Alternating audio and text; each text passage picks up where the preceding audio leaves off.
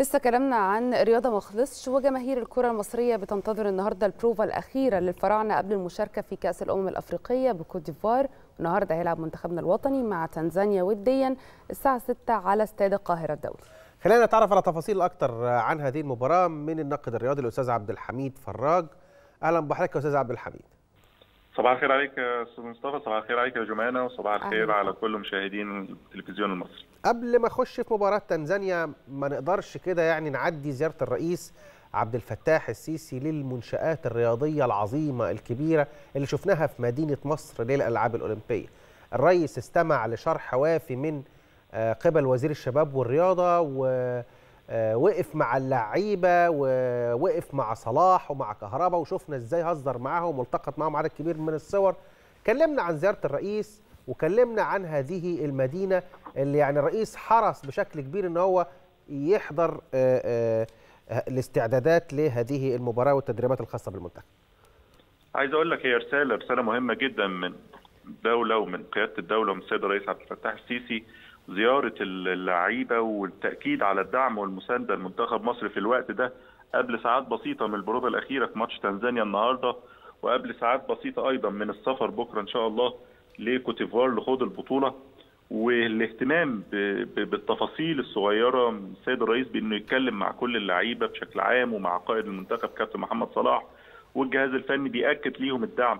الرسائل اللي أكدها كمان فكرة إن البنية التحتية الموجودة في مصر وإن إحنا عايزين يكون في دايما ملاعب موجودة في كل المحافظات يتكلم كمان السيد الرئيس على فكرة الشباب وعلى إمكانيات الشباب وإن هو نفسه يتمنى ويشوف عدد كبير من اللعيبة المحترفة في لمصر في الدوريات في الأندية الأوروبية وفي الدوريات الأوروبية لأن ده هيأكد على إمكانيات ولادنا وشبابنا.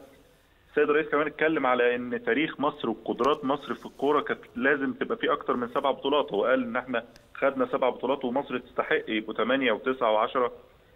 رسائل دعم ورسائل مساندة بتؤكد فعلا حرص القيادة السياسية وحرص الدولة على دعم المنتخب. وأكثر من مرة السيد الرئيس في أكثر من ايفنت رياضي اتكلم على إن الرياضة هي ملف أمن قومي. ودايما إحنا بنقول دايما إن الرياضة والفن هي دي القوة الناعمة بتاعت طبعا. مصر. هي ديت اللي بتساعد في إنها تبين قوة مصر في ال... بين الأمم وبين الدول الثانية أعتقد رسالة مهمة جدا وتوقيت مهم جدا من السيد الرئيس. اتكلم على العمل الجماعي وإن فريق كرة القدم ده فريق جماعي وهي دي رسالة يعني سياسة فعلا ورسالة منظور سياسي إزاي إحنا في أي حاجة بقى في لما بنشتغل إزاي نشتغل زي ما بنقول بالجمله الدارجة بتاعتنا في ال team work أو في العمل الجماعي اللي يقدر يحقق النجاح؟ سعيد جدا بالرسالة دي وسعيد في إنها استعراض لأول أو أو أو النجاح الكبير أو أول استضافة للمنتخب الأول في المدينة الأولمبية في العاصمة الإدارية الجديدة بتأكد إن المدينة ديت جاهزة لاستضافة الأحداث في الفترة اللي جاية. بالمناسبة استاد الكورة هو كان آخر مرحلة من المدينة الأولمبية. ملاعب التنس كانت جاهزة منطقة الملاعب الرياضية ال ال الاستضافات كلها الصالات المغطاة. طب يا فندم كلمنا كمان أكتر عن الاستاد بقى تحديدا. سعه الاستاد قد إيه؟ يعني قلنا بعض التفاصيل عنه. الاستاد نفسه بيتسع لحوالي 90 ألف متفرج. الزملاء اللي كانوا بيتابعوا تغطية المنتخب بالأمس بيأكدوا على إن نجيلة الملعب أكثر من رائعة على إن التراك والمدرجات مجهزة تجهيز كامل. زي ما بنسميها بقى الحاجات اللي هي الملحقة سواء بقى غرفة المؤتمرات الصحفية وغيرها. استاد يليق فعلا باستضافة الأحداث الرياضية العالمية. أنت عارفة يا جمانة إن مصر في نية وفي دراسة لاستضافة أولمبياد 36 طبعا. فإحنا لازم نكون مجهزين أكتر من مكان وأكتر من ملعب للاستضافة ديت. أكيد استاد القاهرة صرح كبير وأيضا دلوقتي استاد مصر في المدينة الأولمبية بالعاصمة الإدارية الجديدة حاجة بتضاف أو إضافة كبيرة جدا بتضاف للبنيه التحتية في مصر. أتخيل إن هو مكسب كبير جدا للرياضة المصرية. وزي ما قلت لك زيارة السيد الرئيس بتؤكد على طبعا. إننا إن شاء الله هنشوف إنجازات كتيرة جدا واستضافة بطولات عالمية في الفترة اللي جاية. صحيح. طب كلمنا بقى عن يعني لما رئيس الدولة والقيادة السياسية تروح للمنتخب قبل ما يروح بالتأكيد ده هيأثر على معنويات اللاعبين بالإيجاب وهيديهم دفعة قوية جدا قدام جماهير مصر كلهم. التشكيل اللي هيبدأ بيه فيتوريا عامل إزاي؟ آه آه كلمنا أيضا عن يعني كيف استعد اللاعبين لهذه المباراة خصوصا. تمام. طبعا إحنا عايزين نقول طبعا هو كان في كلمة لصلاح والفيتوريا الأول ردا على الدعم والمساندة أكدوا إن هم هيبذلوا كل الجهد وإن هم هيكونوا بي يعني مش هيوفروا أي جهد عندهم في البطولة ديت وقالوا إن إحنا في البطولة اللي فاتت وصلنا النهائي بس إحنا إن شاء الله البطولة دي نكسب البطولة. إحنا الحمد لله ما فيش أي إصابات على قائمة المنتخب كل اللعيبة جاهزة. فيتوريا من المدربين اللي ما بيغيرش كتير أو اللي ما بيعتمدش على المفاجات كتير. هو طول ما القوام الأساسي عنده جاهز أعتقد إن هو مش هيغير فيه كتير. فبنسبه كبيرة هيكون الشناوي محمد الشناوي في حراسه المرمى. وبنطمن الناس كلها مفيش إصابات وكله جاهز. يعني مفيش مرحلة تأهيل حتى. يعني الشناوي جاهز ياسر إبراهيم جاهز. كل الأسماء اللي موجودة في منتخب مصر أو القائمه بالكامل ال 27 لاعب جاهزين. أعتقد إن في الدفاع هيكون محمد عبد المنعم. ربما يكون جنبه أحمد حجازي أو ياسر إبراهيم. احدهما يعني يكون بجوار محمد عبد المنعم. في الجنب اليمين هيبقى عمر كمال عبد الواحد أو محمد هاني دول الأقرب. في الجنب الشمال أيضا محمد حمدي أو فتوح.